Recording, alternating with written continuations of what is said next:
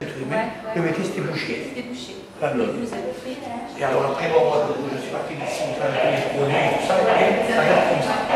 Alors, ici, une fois qu'on a fait la découpe, alors vous avez ce qu'on appelle le frais et ce qui normalement va être le cuit. Alors, dans le frais, alors, c'est le broyeur. À partir du moment où c'est c'est coupé, là vous avez le mélangeur. D'accord. Et, alors, hop, et tous les assaisonnements et tout ça sont mis là-dedans.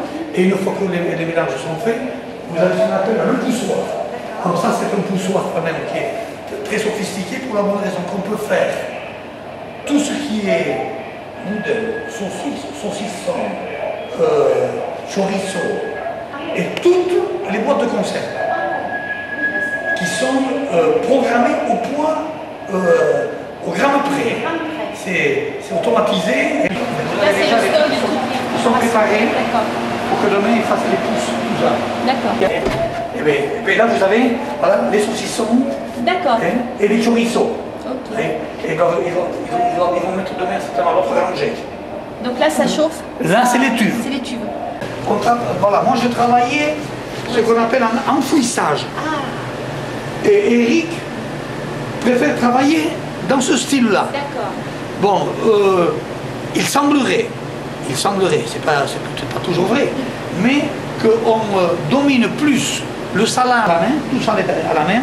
Après, ils les mettent selon le poids, parce que tous les jambons sont pesés. Et par catégorie, le nombre de jours que ça va rester dans le sel. Et, euh, bon, et il semblerait que là, dans ce salon, là, vous voyez tous les jambons que vous voyez, qui sont par exemple là. Les jambons blancs, parce qu'on fait nous le jambon blanc. Et, euh, tout ce qui est hure, tout ce qui est pâte de campagne, tout ça, tout se fait là-dedans. Oh là là là là là là. Presque tous travaillent à circuit fermé. Moi, j'ai jamais voulu travailler, mais en circuit comme ça ouvert, il vous faut presque trois fois, quatre fois plus de place. Bon, mais, mais moi j'ai toujours euh, pris le, le- le truc. je- je- le, le jambon ibayonnais, pour moi, si vous voulez, ça a été une recherche qui est partie, vous savez de quoi? Du jambon de Bayonne qui se vendait. Et alors moi je faisais la foire de jambon de Bayonne tous les ans et j'avais un, un gars qui venait me voir qui s'appelait donc Monsieur Montoser, Jean qui est mort hier. Et tous les ans il venait me dire bonjour. Ah, Montoser, c'est celui qui est à Bayonne Oui, qui est Dans à- la rue, là Voilà, Voilà. que vous avez dans le vieux Bayonne. Voilà, ça y est, Mais ça y est, dont ça leur maison est à Guiche. Leur charcuterie est à Guiche. Ah, d'accord. Et il, a- avait acheté ce magasin à un certain monsieur Meunier qui, qui faisait de la charcuterie bretonne. Et le Parme. Et, et, voilà qu'on on se met à goûter. Et c'est moi, honnêtement, je n'avais jamais fait du test à la note. Je me dis, avant que je commence.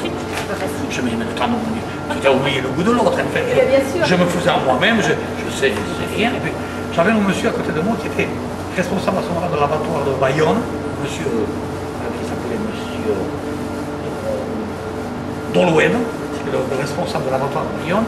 Il était à côté de moi, lui à la deuxième ligne, et il me goûte comme ça, et puis il me fait, mais, ça c'est du ramougo, ce jambon, il. J'ai fait, ben monsieur je ne sais pas ce que, c'est que vous avez, mais ce que je suis sûr, qu'il n'y a pas de ramougo dans, les, dans la dégustation.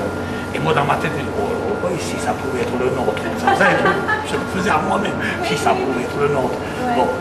Et nous avions dit avec Jean, bon, s'il se trouve que le test à l'aveugle nous met dans, les, dans le mon moyen champ, on arrête. bah, bien sûr.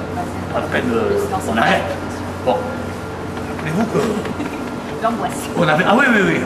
Parce qu'on est. euh, ça- on n'aurait pas réussi. C'est un coup de derrière. hein. Ouais. Parce qu'on y a cru, on y croyait. on- bon. Alors, euh, si vous avez une réussite, bon, euh, vous ne faites pas cocorico. mais Ça, vous fait, soulagé, ça vous fait quand même Ouais, du bien.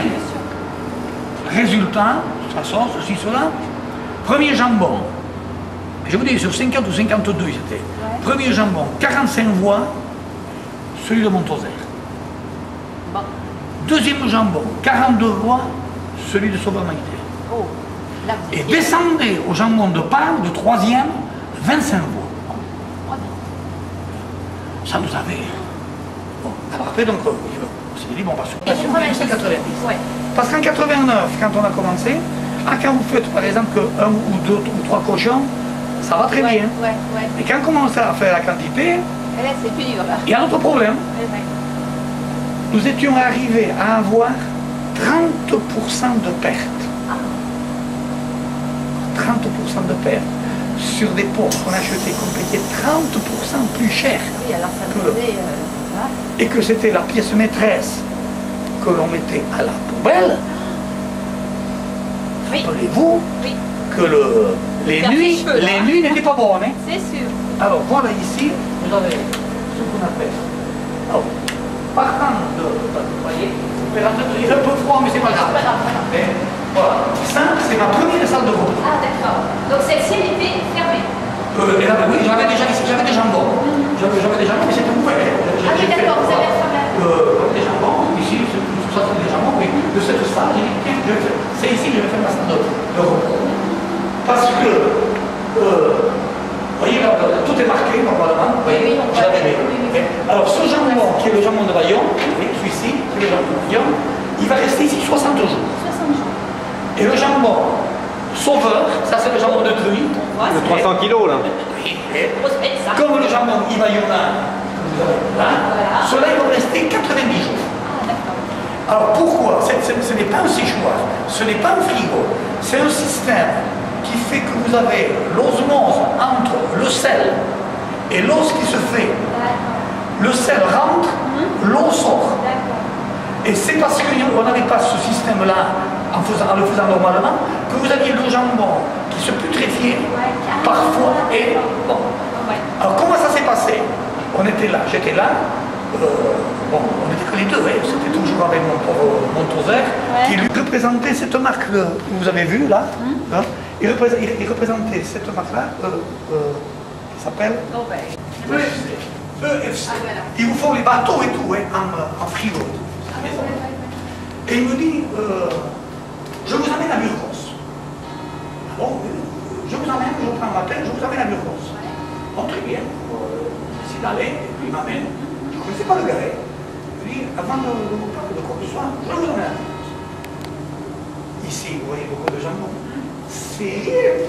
C'est, c'est un petit laboratoire. Ah. C'est. Le gars, il devait avoir, il avait 5 salles de repos où il mettait 8000 jambons dans chaque salle de repos et il en avait une de 18 000. Le gars, il tenait tout ça, il était en, en papier blanc, tout par ordinateur.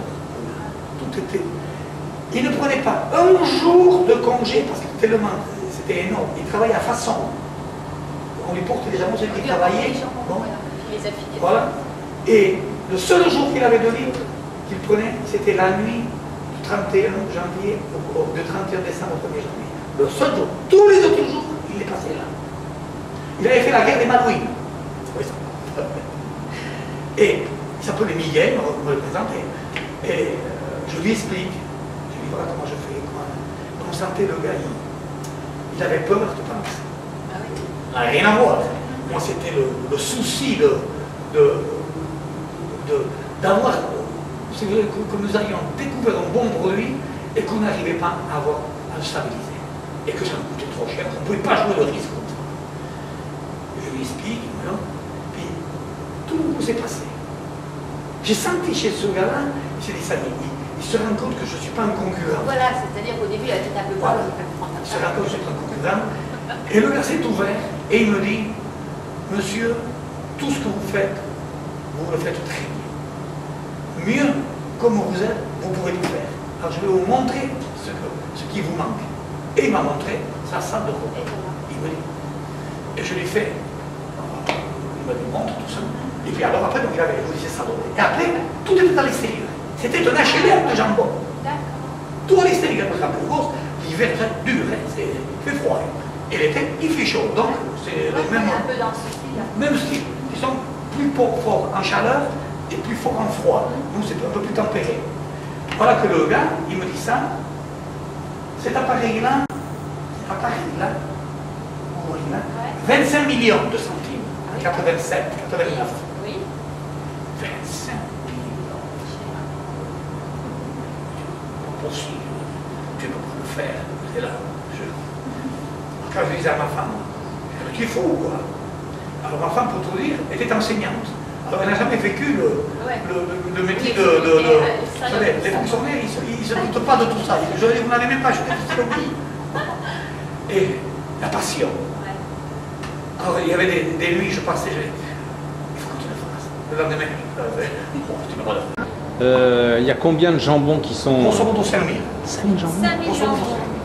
C'est presque comme acheté- Ah, les bérets basques, on tiens. a acheté des bérets, on a acheté des Jésus. C'est les chorizo, là. C'est